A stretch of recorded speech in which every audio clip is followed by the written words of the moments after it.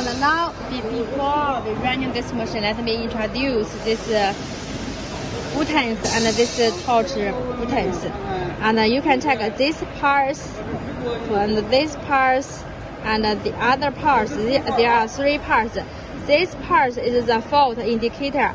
Once the machine has a problem, it will give you indicating here. Where, where side has a problem? For example, if the wire like this way, if the wire has a problem, you can check it has a tangle wire. So this is the problem. And how to clean this problem, just now I show you just like uh, this way and this way it will clean. And uh, for example, okay, now this is the sensor indicator.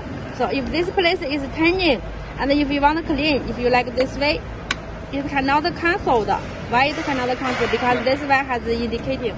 So first you need to fix this problem. And then,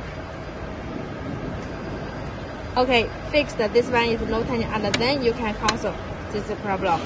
Okay, these two parts we introduced. And this part is uh, for the function of this uh, machines. This is used to set the y, uh, the chain link fabric width, the width of this uh, fabric setting. This is the length, how uh, one rule, how many meters. This is the length, and uh, this is the and uh, this is the manual mode speed and um, auto run speed. Auto run speed, uh, when you click, the machine will go on working automatically. This is the auto run speed.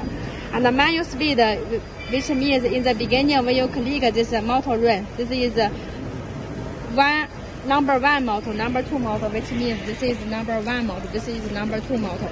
And this is both of the motor. So when you click, yeah, both of the motor work together. So when you click this one, motor one, motor two motor will run. This one will number two, number one motor will run. So this is for manual working. And uh, so this one finished, this three finished. This one is cut move. Cut move is this part for the cut. When you click, this one will cut. For example, I click this one, and you can check here. See? And this is cut. This is the push wire move. Push wire move means the wire will twist it. For example, I, I click push wire move the wire will be pushed outside. And this one is the edge finish one, edge cycle one time. And you can check it will running one, one time.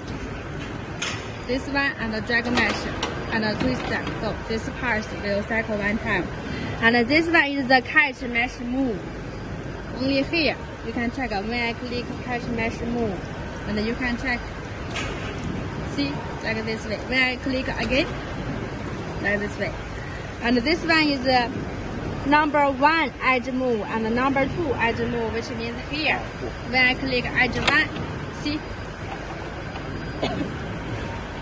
I click add two, that side will move.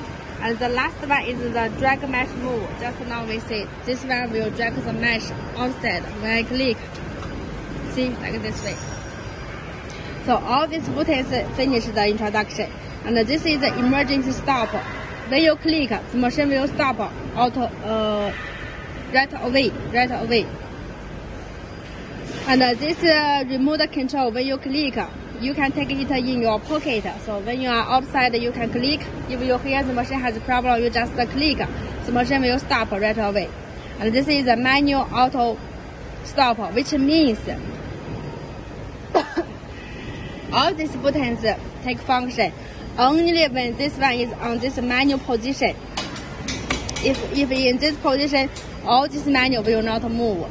And if I click on this auto, 可以自动一下呗？ If I click auto, you can check the machine will stop will working.